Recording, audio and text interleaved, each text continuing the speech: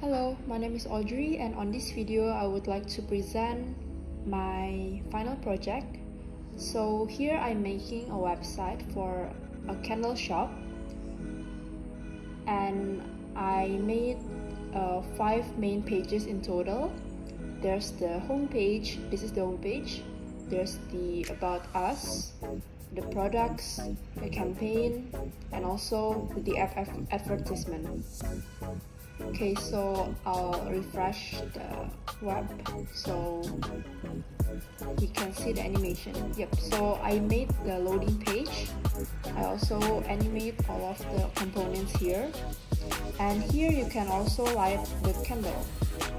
Yeah I added that just to make uh, the website more fun.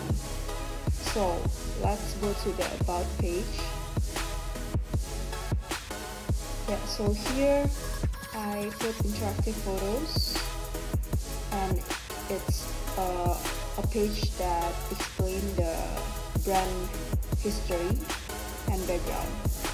And to this next page is still um, a story about the brand.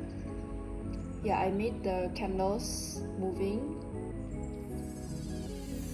Next page still the about us page yeah more animation there. And let's go to the products page. So here I put four, four main products. I also animated the buttons and also the background.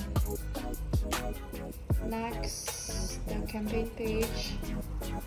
So here I put the filter that I created using um, Spark AR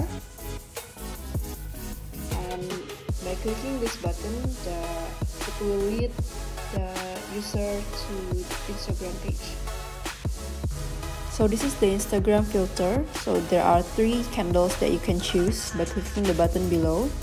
And you can light up the candle by clicking it and blow it. Plus the app page so here it uh, promotes the app that I also designed. And users can download their app by clicking this button. Okay that's all. And oh and we can go back to the home page by clicking the logo here. Yep. Okay that's all for from me. Thank you very much